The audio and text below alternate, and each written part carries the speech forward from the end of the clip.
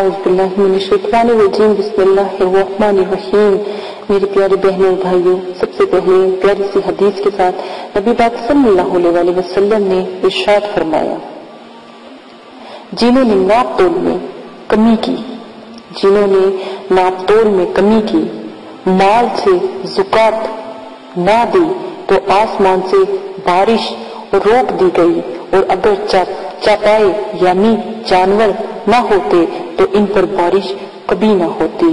अगर वो मासूम जानवर चौपाए, यानी बकरी भैंस, गाय, ये ऐसे प्यारे प्यारे से चौपाए चार टांगों वाले जानवर ना होते तो यकीन माने जैसा हम नापोल में कमी करेंगे तो हमारे यहाँ पर बारिश नहीं होगी।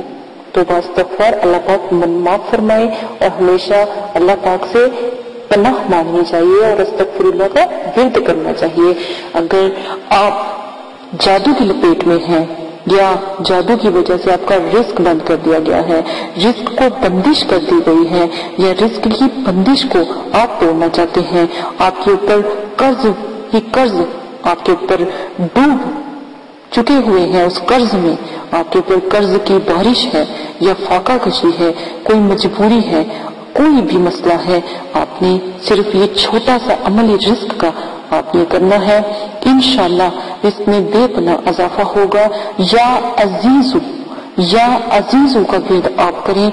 यकीन माने जितनी भी परेशानियाँ, मुश्किलें, दुख तकलीफें कोई भी ऐसा मसला है, आपकी तमाम मुश्किलें हल हो जाएँगी और ज़िंदगी आसान हो जाएगी। अल्लाह पाक आपको करने की तोफीक अता फरमाए।